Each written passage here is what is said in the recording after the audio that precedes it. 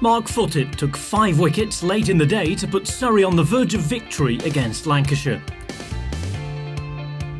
Surrey resumed day three on 354 for six and were looking to build on their first innings lead of 67 runs. Sam Curran got the hosts off to a flyer, hitting consecutive boundaries in the first over of the day. Brother Tom was occupying the crease at the other end, and he too looked to get in on the action. Tom Curran was then given a life, Jones putting down a regulation catch at second slip.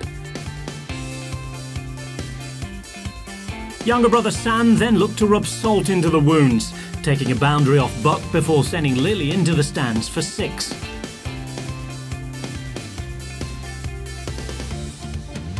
A lovely little up and over from Sam Curran brought up his 50, and then he sent the next two balls to the boundary.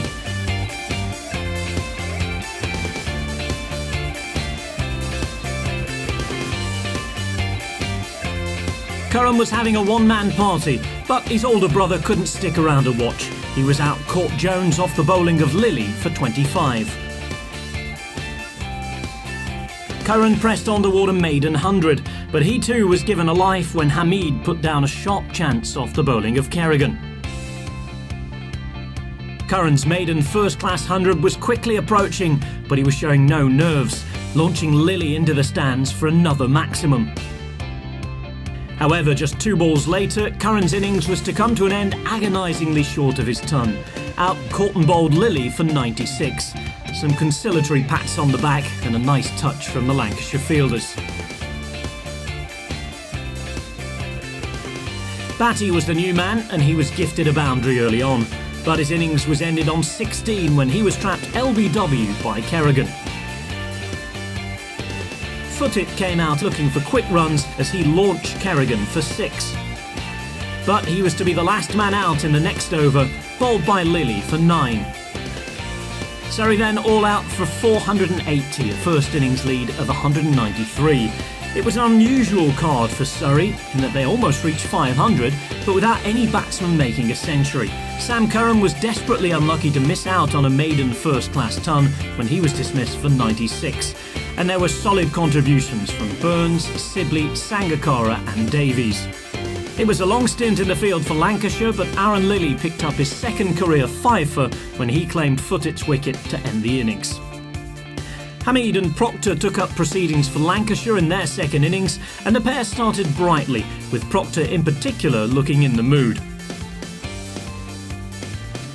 The pair put on 49 for the first wicket before Hameed edged one behind to Foakes off Footitt for 17.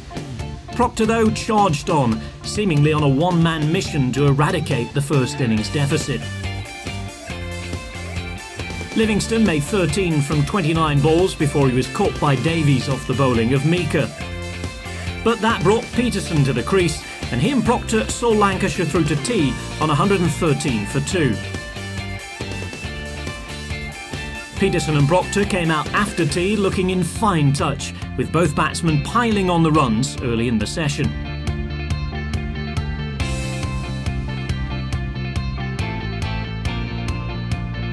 Petersen lofted Batty for six, the pair having reduced the deficit to just 31 runs, and they looked like going on to build a solid lead for the visitors.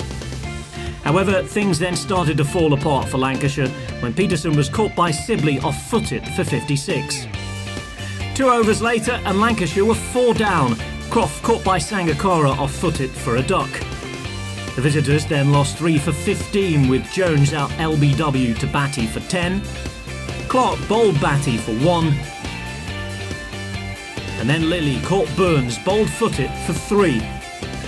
Stumps were called soon after with Lancashire precariously placed on 203 for 8, a lead of just 10 runs with only two wickets in hand. Petersen and Proctor had looked comfortable together for a large part of the day, but five wickets from Mark Footitt combined with two late wickets from Batty completely turned the tide for Surrey, who now need just two more wickets on day four to set themselves up for a winning run chase.